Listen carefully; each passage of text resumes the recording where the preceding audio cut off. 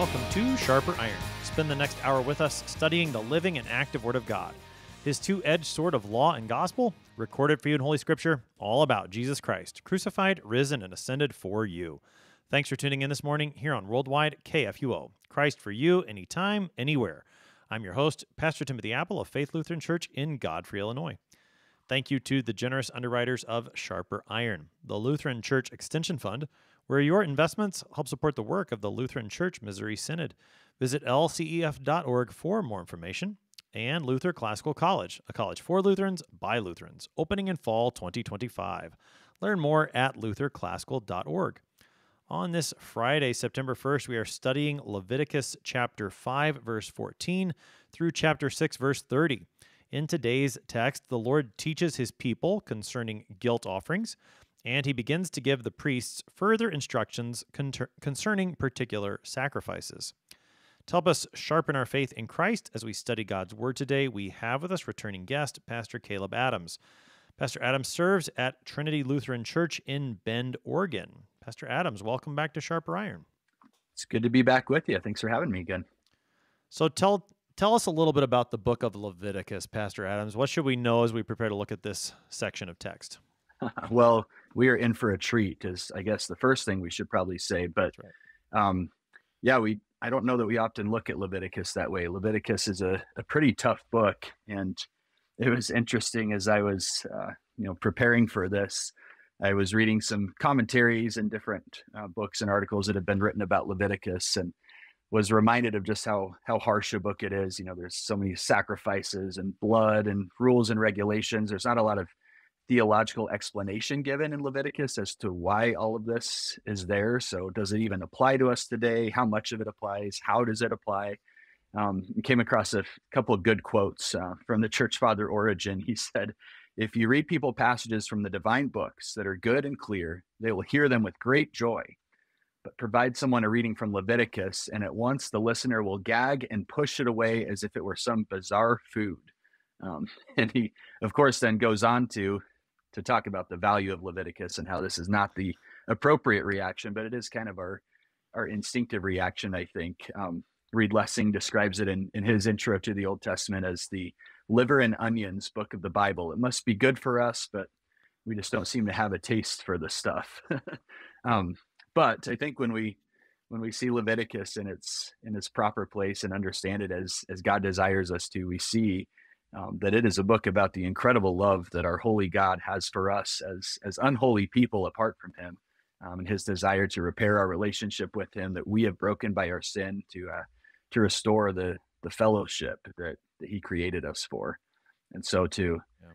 to uh, bookend it with another church father quote, Jerome says in Leviticus, almost every syllable breathes the heavenly mysteries because it figure its figures lead us to Christ, the one great high priest of the New Testament. And so mm. uh, in Leviticus, the, the sacrifices, the blood, all of these things point us to the, the holiness of God. You know, God gives us these sacrifices as, as a means, as sacraments really to, to impart his holiness, to communicate that to us. And, uh, and all of the, the different instructions that are given are meant to, uh, to point us to these divinely mandated means of receiving God's blessings of forgiveness and atonement, and of course to to point us to Christ. Um, Leviticus 17:11 is kind of a key verse. The life of the flesh is in the blood. Mm. I've given it for you on the altar to make atonement for your souls. For it is the blood that makes atonement by the life. And if that verse is not pointing us to the the blood of Jesus Christ shed for us, then then I don't know what is. Um, yeah. So yeah, I think when we understand, um, you know, all of these things that are at first kind of off-putting for us as pointing us to Jesus, as all of Scripture does, um, we start to to uh, allow the word to flourish as, as God desires for it to. Uh, in today's text, we find ourselves at the end of chapter five and then the whole of chapter six. Uh, where does that put us in the book of Leviticus? Where have we been? What's Moses? What kind of instructions is the Lord giving through Moses here? Yeah, so Leviticus um, really just gets going right off the bat. It says, you know, the Lord called Moses and said to him, and then just gets going with all these different instructions. Um, in fact, the the book is known um, by the the first Hebrew word of the book. Uh, the Hebrew name for the book is Vayikra, which means that he called, you know, and and Yahweh called Moses. And so um, all of Leviticus is God speaking directions to Moses, God speaking to us. And so um, instead of focusing on the Levites as much, perhaps focusing on God's calling and, and words to us are helpful. Um, the context of chapters five and six really is is the end of maybe what we might we might call the first uh, main section of Leviticus, where where God goes through all the different types of offerings that that the people are to offer to Him. It starts out with the burnt offerings, goes on to the grain offerings, the peace offerings, the sin offerings, um, kind of giving details on what each one of these offerings are and how they're supposed to be offered up to the Lord, and then um, in our text today, starting in chapter 5, verse 14, the focus shifts over to guilt offerings, which we'll talk quite a bit about. And then our text ends today with chapter 6 with some specific instructions to the priest in particular. Hmm. Yeah, so there is a bit of a transition within our text today. In the Hebrew text, chapter 5 actually goes all the way through what we have in our English text as 6 verse 7 and highlights that maybe a little more clearly than than the way the chapter and verse divisions work in our English text. But we do have a bit of, of, two sections here. First, some more instructions concerning a particular type of offering, the guilt offering, and we'll read that section first. And then we'll jump in really to the next section, which begins in 6 verse 8, again in the English text, which then kind of goes back through some of the things that we've read before, but with more instructions given especially to the priests and the way that they are to carry out these sacrifices that the Lord has, has described already in the book. So, with those things in mind, we take up the first section of our text today. This is now the text beginning at Leviticus 5, verse 14. The Lord spoke to Moses, saying, If anyone commits a breach of faith and sins unintentionally in any of the holy things of the Lord, he shall bring to the Lord as his compensation a ram without blemish out of the flock, valued in silver shekels, according to the shekel of the sanctuary, for a guilt offering. He shall also make restitution for what he has done amiss in the holy thing, and shall add a fifth to it, and give it to the priest. And the priest shall make atonement for him with the ram of the guilt offering, and he shall be forgiven. If any one sins, doing any of the things that by the Lord's commandments ought not to be done, though he did not know it, then realizes his guilt, he shall bear his iniquity. He shall bring to the priest a ram without blemish out of the flock, or its equivalent for a guilt offering, and the priest shall make atonement for him for the mistake that he made unintentionally, and he shall be forgiven. It is a guilt offering. He has indeed incurred guilt before the Lord. The Lord spoke to Moses, saying, If anyone sins and commits a breach of faith against the Lord by deceiving his neighbor in a matter of deposit or security, or through robbery, or if he has oppressed his neighbor, or has found something lost and lied about it, swearing falsely, in any of all the things that people do and sin thereby, if he has sinned and has realized his guilt, and will restore what he took by robbery, or what he got by oppression, or the deposit that was committed to him, or the lost thing that he found, or anything about which he has sworn falsely, he shall restore it in full, and shall add a fifth to it and give it to him to whom it belongs on the day he realizes his guilt.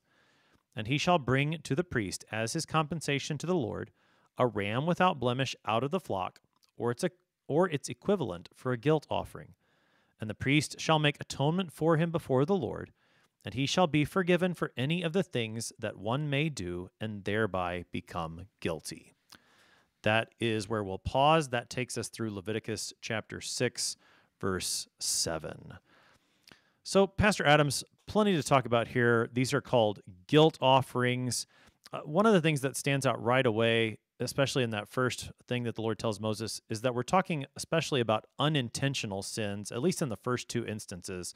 Uh, talk to us about what sins are in mind that would bring about the need to do a guilt offering. Yeah, so both of these first two offenses mentioned are are a little vague. The first one seems to have a little bit more um, that we can go on is to understand what's being referenced here. Um, very clearly, what they both have in common is unintentionality, um, sins that are committed not not premeditated, not with intent to disobey God's commands, um, but out of neglect or something like that. So, um, the Hebrew word ma'al is used uh, for the first one, and really has the sense of disloyalty or, or unfaithfulness, infidelity, um, usually in reference to disloyalty toward Yahweh, uh, toward misuse of sacred objects devoted to Yahweh. And so uh, it seems that that the first one might be specifically talking about uh, neglecting to tithe or not bringing the required offerings that God has commanded, um, accidentally mixing, you know, what is holy with what is unholy. In Leviticus, we get this this very tangible sense of holiness. It's something you can touch. It's something that's transferred that that we'll see later on in our reading today. And so um, I know personally, whenever I've read Leviticus and and some of the other instructions in the Torah, um, I've been very thankful to the Lord for allowing me to be born in in you know the 20th century AD because I, I'm sure I would have messed up quite often. And so I think that's exactly what what God is doing here is is giving His people a way to atone for their I would guess many mistakes in these areas. Um, it immediately called to mind for me Psalm 19 verse 12. Who can discern His errors? Declare me innocent from hidden faults. Um, a verse the reformers, of course, reference when talking about the the church's demand to enumerate every single sin. Um, we we can't discern our errors or um, you know know all of our hidden faults. In this case, the guilt offering seemed to be for for those unintentional errors that later do uh, come to the people's attention. And so God's giving a, a sacrifice to his people as a blessing to them to uh, to provide them a, a means of atonement and and even I, I think it's fair to say those with an, an uneasy conscience, those who maybe are not quite sure if they've done everything that the law requires of them. Um, if there's been any misstep whatsoever, God has provided a, a, way to to atone for that through this this guilt offering, which is uh, very unique when compared to the other offerings. Uh, talk a little bit about the name given to this particular sacrifice, the guilt offering. What's intended by that name? Yeah, so it's it's interesting because you know of the different offerings in Leviticus, there seems to be some crossover in terms of how they're described, um, how they're enacted. Uh, but the guilt offering here is is a very specific offering, um, and the the Hebrew word here is asham. Uh, it's usually translated as guilt offering. Um, sometimes it's translated as reparation offering. Um, in a few cases, even trespass offering. Um, and reparation is is sometimes the translation because of what goes along with this offering. Uh, that this seems to be these these first two instances certainly for unintentional sins, but also ones that that restitution can be made for, um, and that becomes especially clear in in the third one that we'll get to.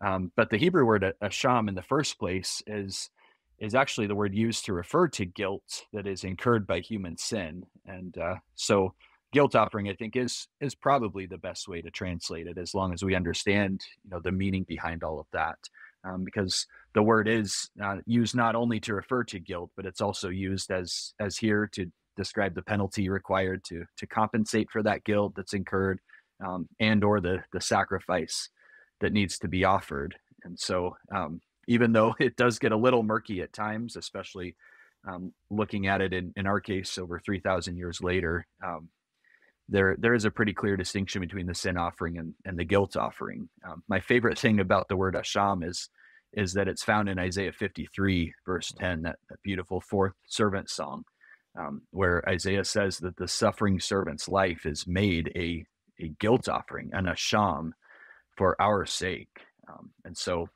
these guilt offerings, as as everything else in all of Scripture and, and everything that God has to to give to us in Leviticus point us to to Christ Jesus, to His sacrifice, and and to all that He has done, and, and a couple other um, interesting things about the guilt offering that that do that as well is is this is uh, the only offering that's mentioned here in Leviticus where only a ram is allowed. Um, for all of the other offerings, you know there there are options, and it might depend on your your station in in life or your societal rank. But here, um, it, it's a ram in every case. Um, the guilt offering is always given by an individual, not by the congregation, as is the case with other offerings. And uh, and again, with that reparation included, uh, twenty percent restitution is required on top of this animal sacrifice in the case of the guilt offerings. Hmm.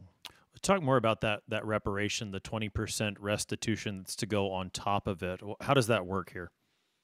Yeah. So in in the first case here of, of the the three offenses that are mentioned in in what we're looking at right now, um, it's the ram uh, valued by the temple, and then twenty percent on top of that. And so um, you take a fifth of whatever the value is and and add that on and give it to the priest. Um, as we get on to the third, we'll see that that, that restitution actually goes to the the offended um, neighbor.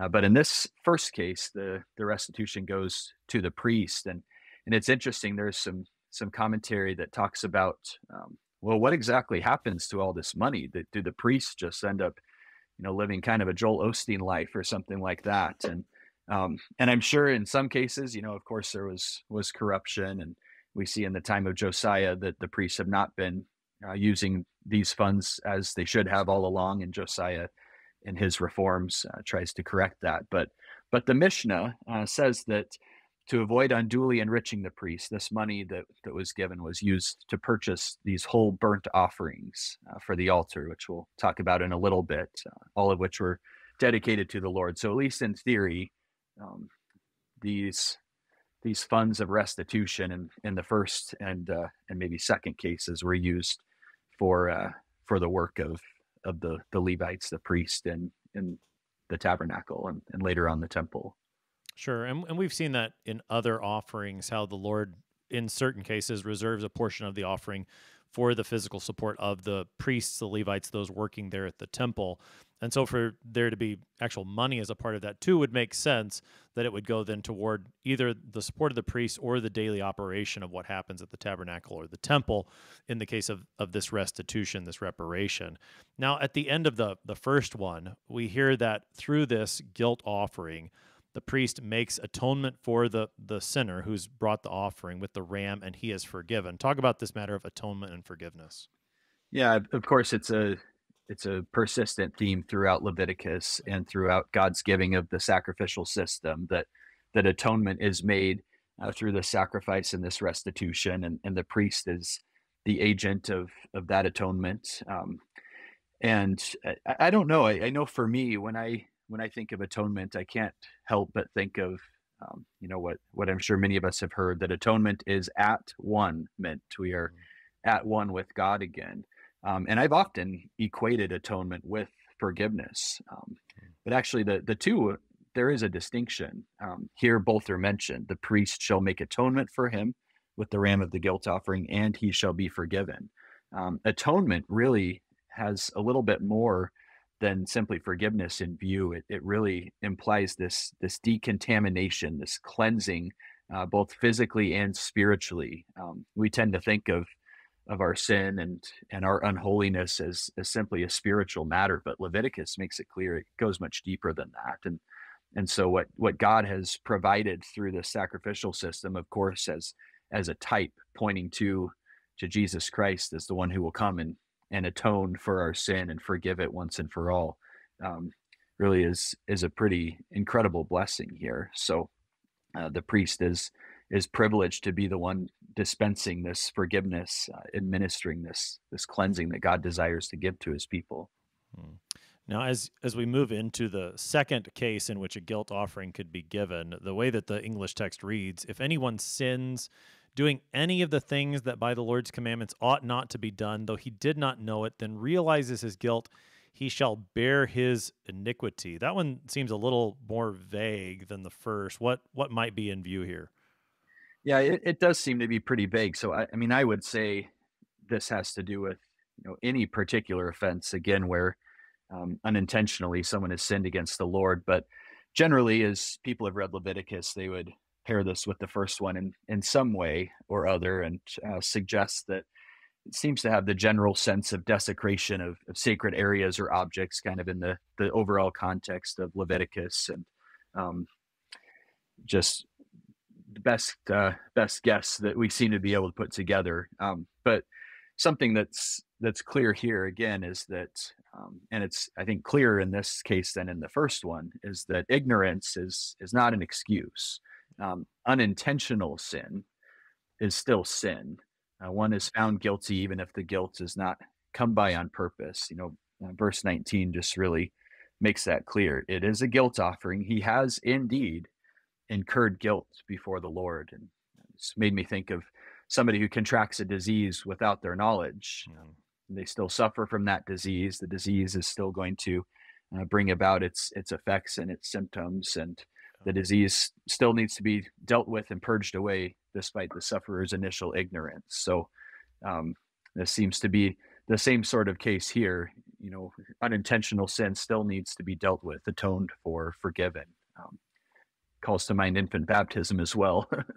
that uh, yeah. the baby's ignorance of their own sinful condition does not negate the need for that sinful condition to be to be washed away by by the means you know through the means which God has given us to do so.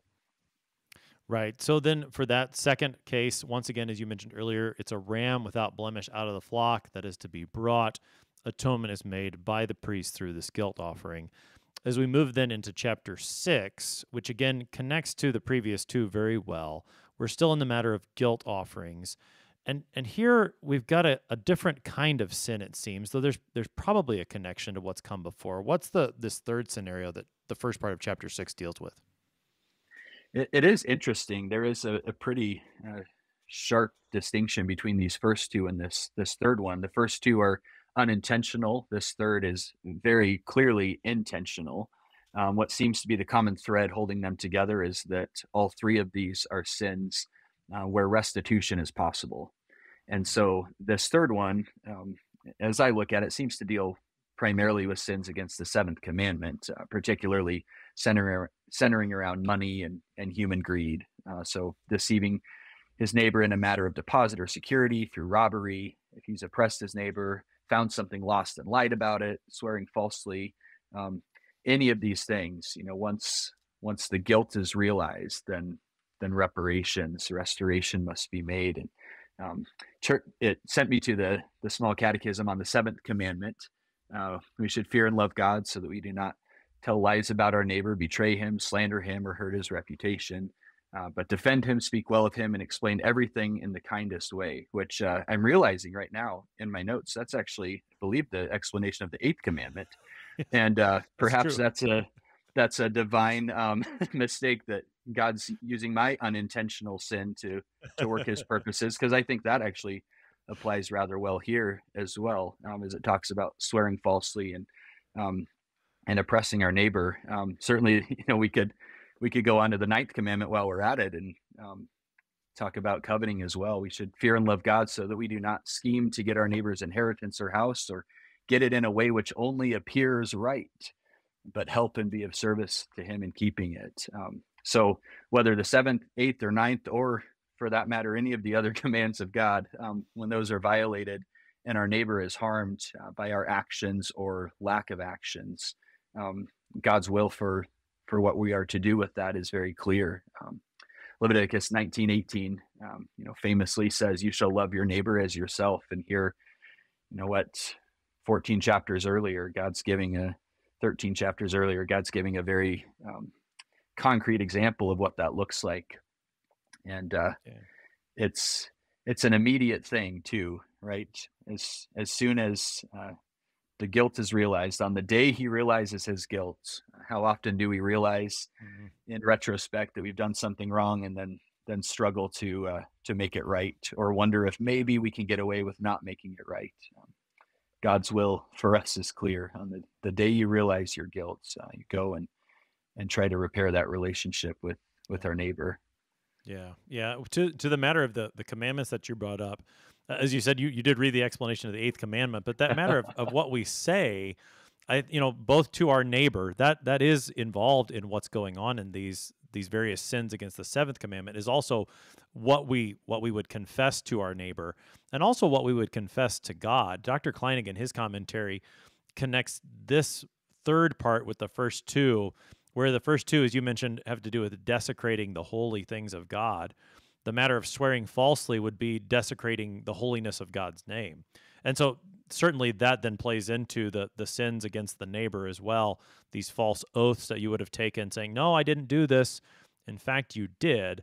That then requires the the restoration of the relationship with the neighbor and with God. So to talk about how this this goes in the guilt offering in these sins against neighbor in this part of chapter 6. Yeah, well, and and that highlights very well I think the the coram mundo and the coram deo aspect of the guilt offerings. You know, we have the two kinds of righteousness at play here. God desires um, not only restoration of our relationship with one another, but um, but atonement to be made before Him. And so um, the the two go hand in hand and, and are really inseparable, even though we we try to separate them quite a bit. You know, if I'm forgiven by God, then then that's all that's necessary. Um, but God reminds us in a lot of ways throughout Scripture that that He desires our relationships here to be reconciled as well. Um, you know, Jesus wasn't coming up with some new theology or um, sharing a, a, brand new teaching that that God had never revealed to us before when he pointed out the connection between the first and the second great commandments, right?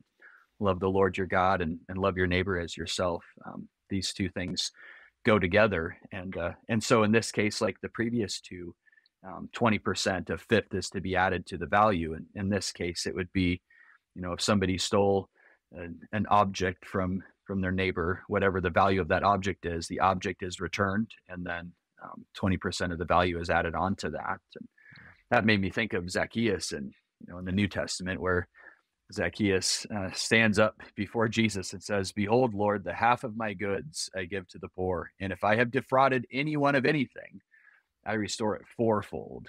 And so um, you know, we, we sometimes as New Testament Christians think, well, God said this in the Old Testament. What can I get away with in the, the New Testament era? Zacchaeus shows us the the proper disposition toward these things. Um, right. We should be be eager uh, to restore to our brothers what we've stolen. Um, Jesus said the same thing in the Sermon on the Mount. You know, if you're offering your gift at the altar and there remember that your brother has something against you, leave your gift there before the altar and go. First be reconciled to your brother and then come and offer your gift. And I think also in, in view here, maybe implied more than explicitly stated, is uh, the role of the person who's been wronged. Uh, clearly, their their expectation, the expectation God has for such a person is is to receive and accept the restitution uh, rather than to refuse forgiveness. Uh, we forgive those who trespass against us, and and as our relationship with with our our fellow man is restored, um, our relationship with God is is healed as well. Um, as with the other offerings, uh, there's also compensation made to the Lord. It's a reminder that that every sin is ultimately a sin against God. Psalm 51: Against you, you only, have I sinned and done what is evil in your sight. And and yet here we've had two unintentional sins, and God offers forgiveness. But but how beautiful that here very obviously intentional sins um, are provided a means for forgiveness, restitution to our neighbor and, and to the Lord. Yeah, yeah. So God, in His mercy, gives opportunity for forgiveness, for atonement. Things are brought right between the sinner and Him, and between the sinner and others. We're going to keep looking at this chapter of Leviticus on the other side of the break. You're listening to Sharper Iron on KFUO. We're talking to Pastor Caleb Adams this morning. We'll be right back. Please stick around.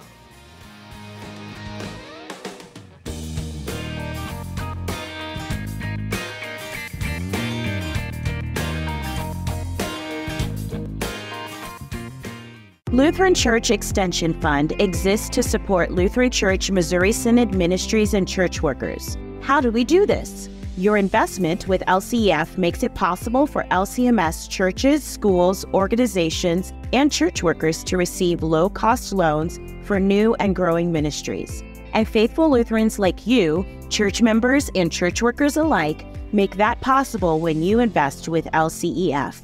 Learn more at lcef.org. LCF is a nonprofit religious organization. Therefore, LCF investments are not FDIC insured bank deposit accounts. This is not an offer to sell investments or solicitation to buy. LCF will offer and sell its securities only in states where authorized. The offer is made solely by LCF's offering circular. Investors should carefully read the offering circular, which more fully describes associated risks.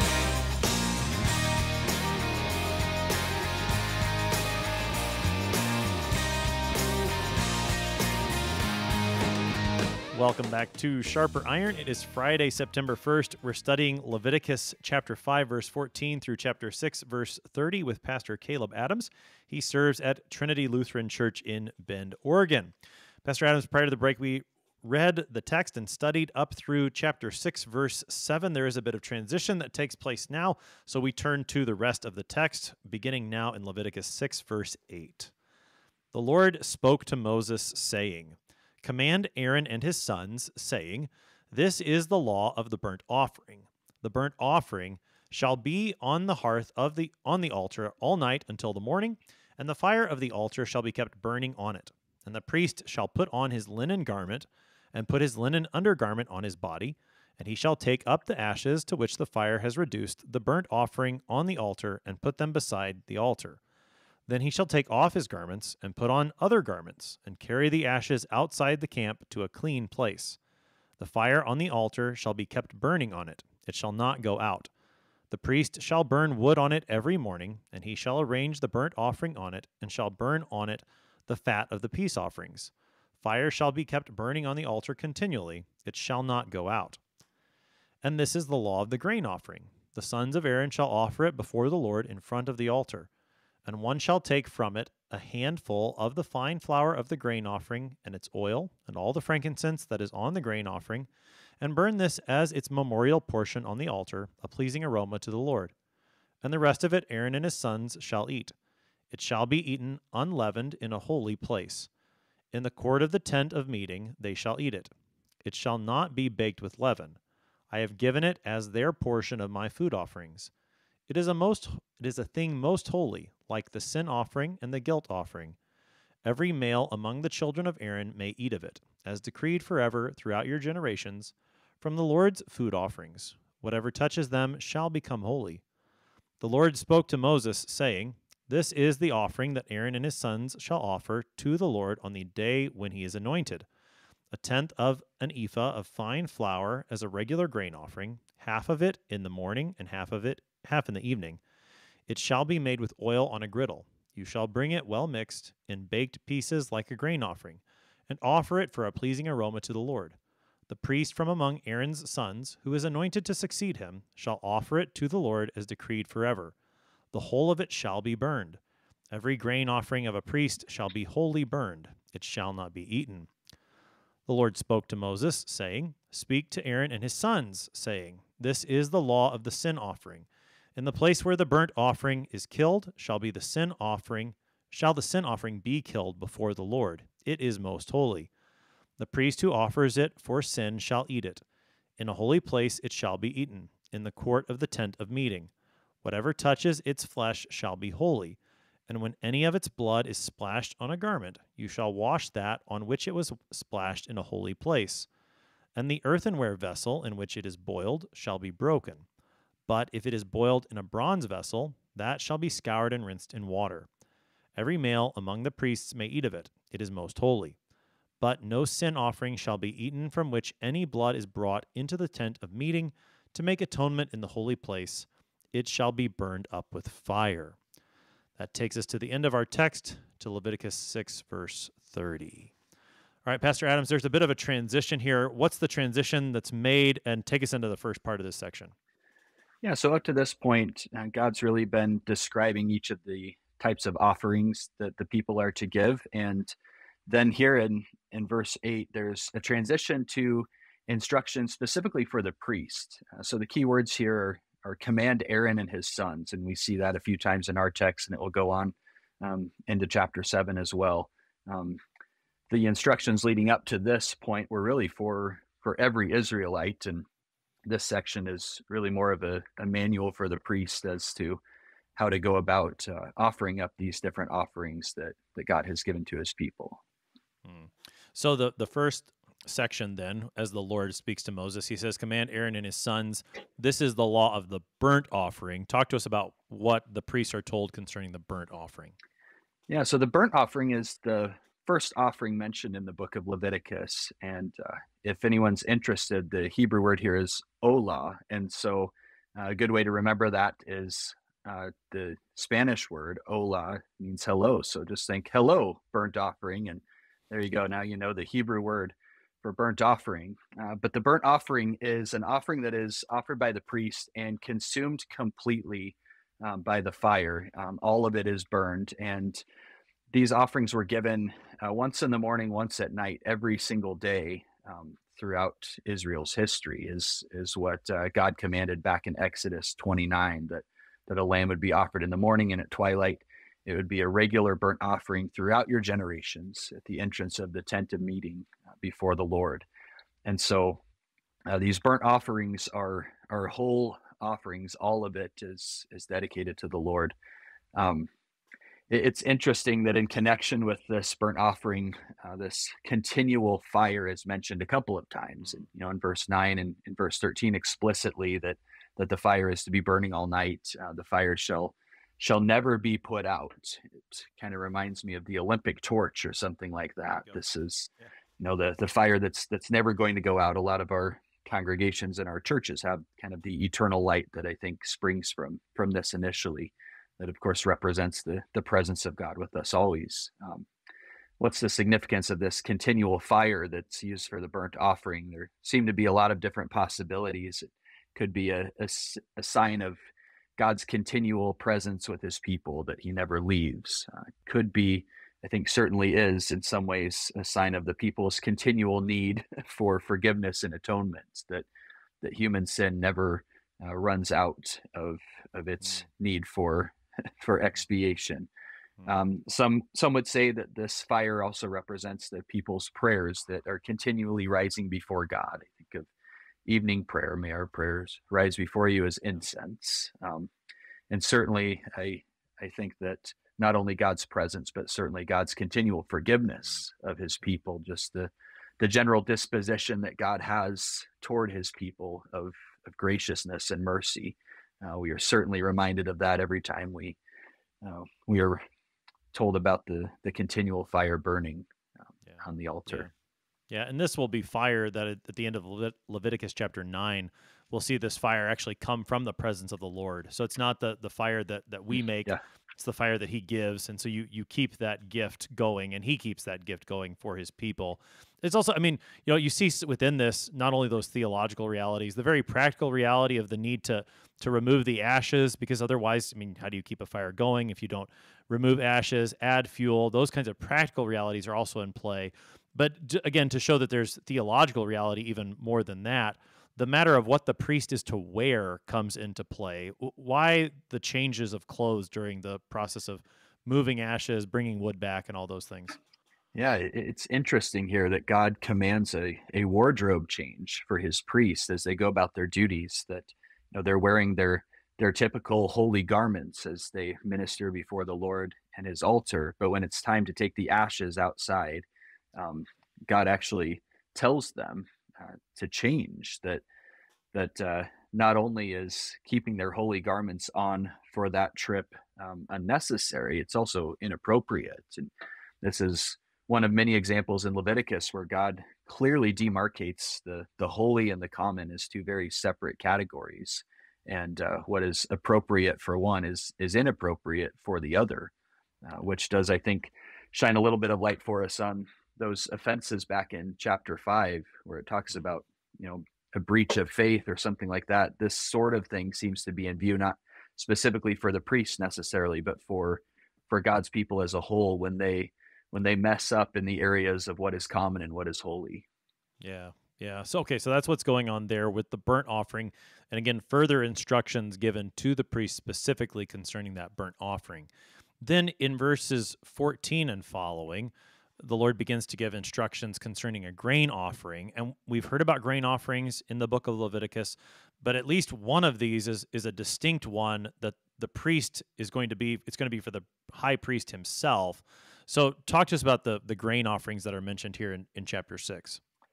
Yeah, chapter six talks about um, two distinct types of grain offerings. It, it first deals with kind of the, the typical grain offering that the people would bring and how uh, the priests are to to eat of that and we'll talk about that a little bit more in a second but then then it deals with uh, this offering that the priests themselves are to bring um, in verses 19 through 23 um, they're to to bring this offering to the lord um, every day from the day of their ordination on and in this case um, this grain offering really becomes like a, a burnt offering. It is burned completely and and not eaten at all.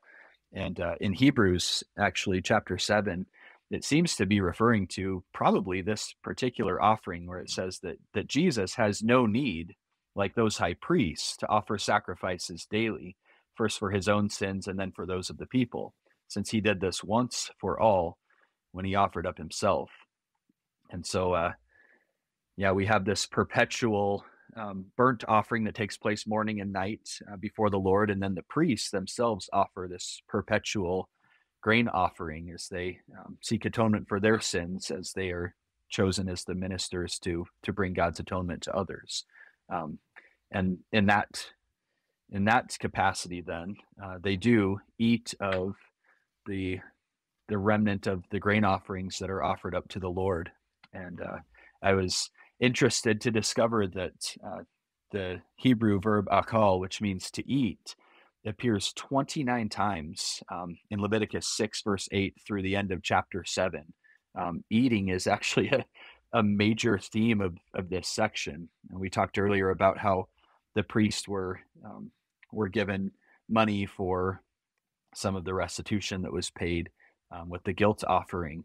Um, here, we're specifically told about how the priests were given food to eat, and it was specifically the priests. It wasn't for just anyone. It wasn't for uh, the priests' families. Even it was it was for the priests themselves to eat of, and um, the priests certainly re- received their livelihood afforded to them by the Lord through this. And Paul picks up on this a couple times in the New Testament, uh, specifically in 1 Corinthians 9. He says, Do you not know that those who are employed in the temple service get their food from the temple, and those who serve at the altar share in the sacrificial offerings?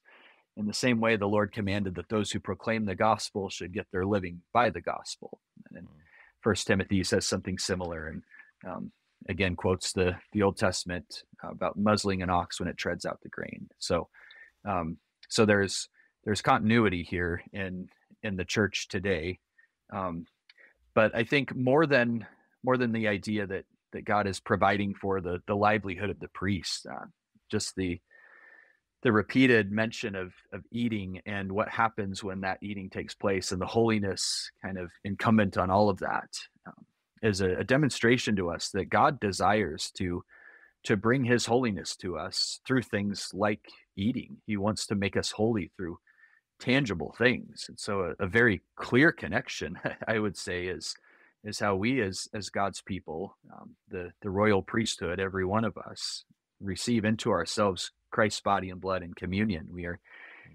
receiving his his holiness and god is doing the same thing for us as as he did with the priest yeah, yeah. To the to the just briefly on the the second grain offering that's mentioned, the one that the priest needs to offer every day, morning and evening. It is it is striking how the the priest, the holiness. I mean, you think of the priest. So if there's ever anyone in the camp of Israel that's holy, it's got to be the priest. Well, even the priest mm-hmm. has to receive holiness as a gift from the Lord, and and he can never take it from granted for granted. So I mean, he gets ordained, installed into that office, but then every day he's maybe reassured of that holiness being given to him by the Lord. And then as you made the connection to the book of Hebrews and the way Jesus then surpasses that as the high priest who is without sin, that's just a, fantastic connection. And I just again thinking, and I know the the line between the priest of the Old Testament and the office of the pastoral ministry, it's not a, a straight line. As you said, all of God's people are, are the royal priesthood. But there there are elements of the priesthood of the Old Testament in which the office of the public ministry today does does function it's, it's just a wonderful reminder for us as pastors that you know there's not some sort of special holiness given to us other than the one that comes from God alone that all Christians have. Absolutely. Yeah, the the perpetual need for atonement that God impresses upon his priests in the Old Testament uh, continues on to us. It reminds me of how, you know, we speak of baptism. Baptism isn't mm-hmm. a one-time thing that happened and and it it kind of stays there. It's a it's a daily experience. It's a daily drowning to to our sin. You know, holding the old Adam under and arising to live. You know, the new blessed life that God has given to us. Because God, as He did in the Old Testament, continues to to make us holy through these tangible means. You know, the sacrifices were were sacraments in, in that sense, and we have the sacraments of of baptism and, and Holy Communion today. Um, you know, that that connection of of food being something that can be holy. Um, I mean, I guess the foodies among us would have agreed with that from the start, but um, yeah, the, the the food offerings here, and and God says that it's like the sin offering and the guilt offering as well, but He calls them most holy.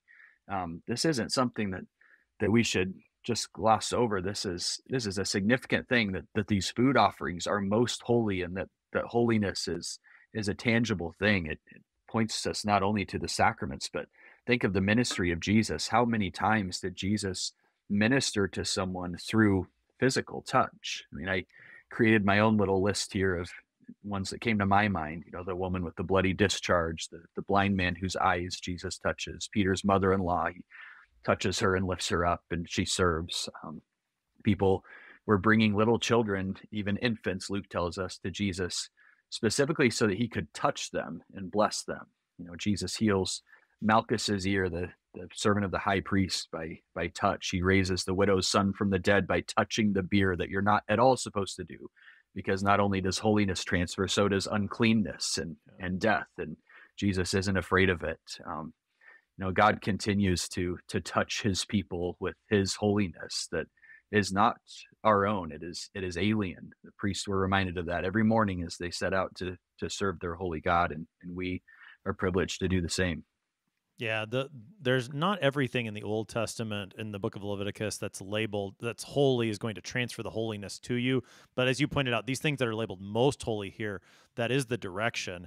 And and of course we can think of examples from the Old Testament where someone without the authority to do so reaches out and touches holy things, and then the holiness is destructive.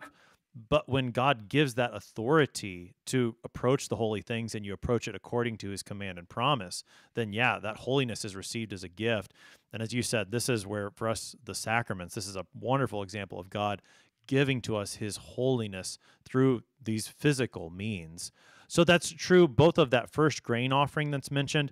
It also is true, it's called most holy, the sin offering that's mentioned there in 24. And of course, it, will say later as the sin, so the guilt offering that's coming again in chapter 7.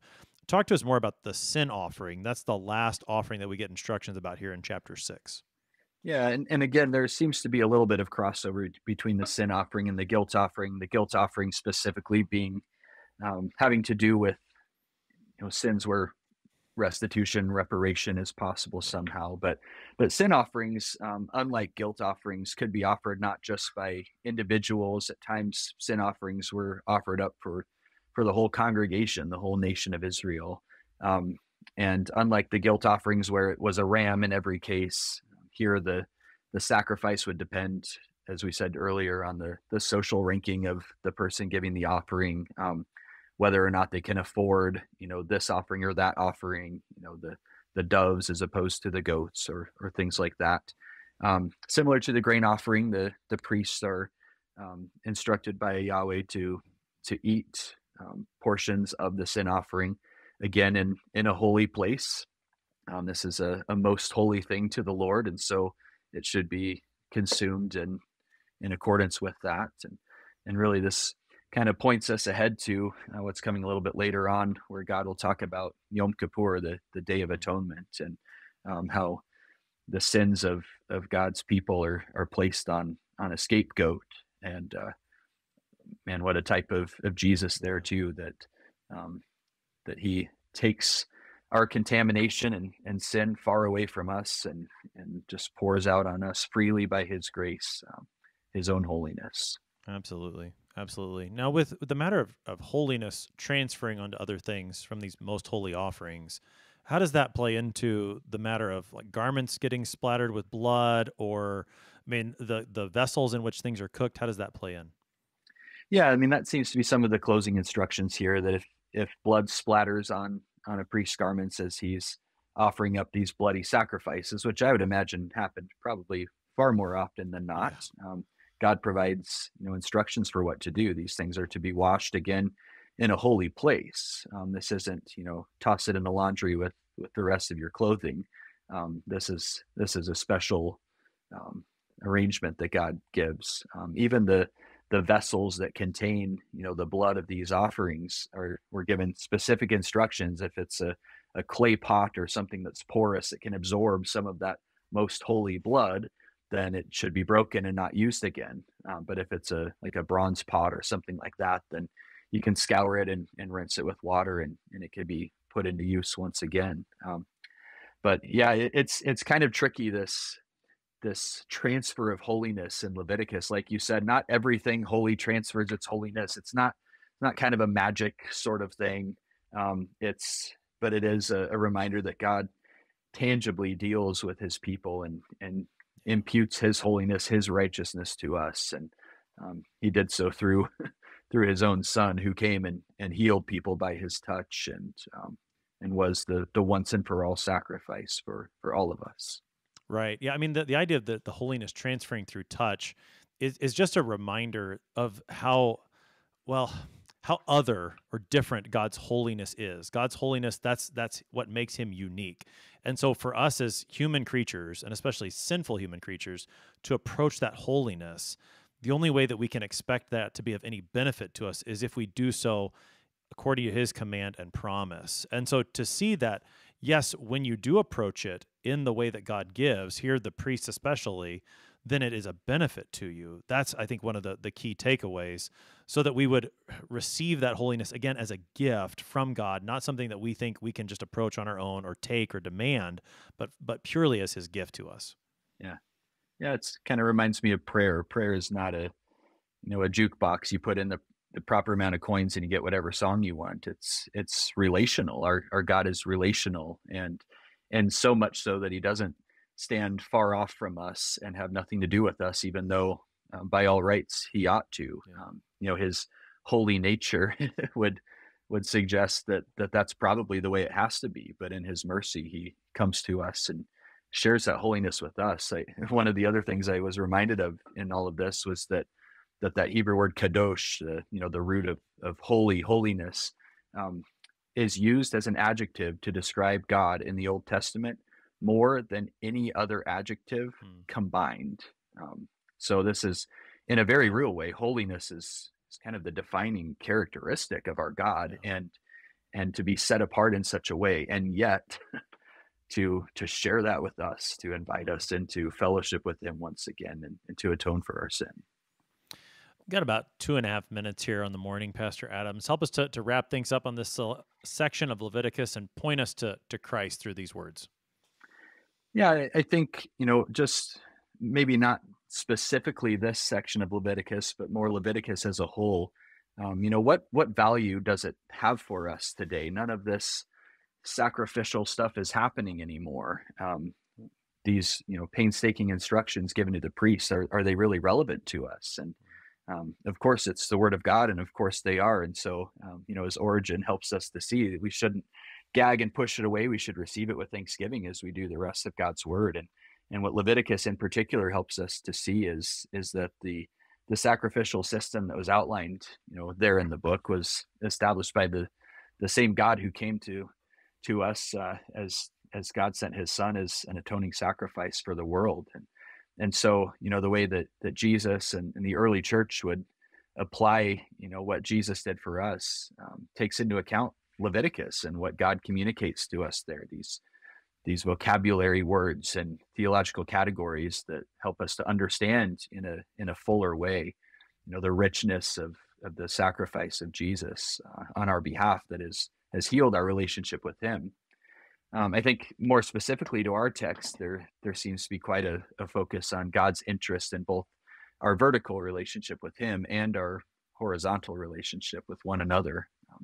Um, God's desire for for peace between us and and our neighbor um, shows us that that we ought to desire the same thing, that we should work toward the same thing, and, that uh, that even intentional, grossly intentional sins uh, can't stand in the way of of God's healing um, the sacrifice of Jesus on the cross has mended not only the the breach in our relationship with Him, uh, with our Father, but but the broken relationship we have with others. And then, yeah, and then I think the the final thing that really stands out to me here is is again just that that tangibility of of holiness. Um, the the sacrificial gifts of God bring about holiness and wholeness for the people of Israel in Leviticus, and God hasn't changed his MO uh, as much as we sometimes think. Um, God continues to give us the body and blood of our Savior to consume for, for the forgiveness of our sins, to, to receive this holiness that is outside of us, um, to be invited back into fellowship with, with the holy God, and uh, to take, take all of that into our very selves. Um, so Leviticus is, if it is the liver and onions, um, it's, a, it's a really good recipe that someone found. That's right. That's right. Very good recipe and very nutritious for our faith in Jesus Christ. Pastor Caleb Adams is pastor at Trinity Lutheran Church in Bend, Oregon. He's been helping us today to study Leviticus chapter 5, verse 14 through chapter 6, verse 30. Pastor Adams, thanks for being our guest today. Thanks so much. I appreciate it. I'm your host here on Sharper Iron, Pastor Timothy Appel of Faith Lutheran Church in Godfrey, Illinois. If you have any questions about this section of Leviticus, send an email to kfuo at kfuo.org. It's always a pleasure to hear from you. Thanks for spending the morning with us. Talk to you again next week.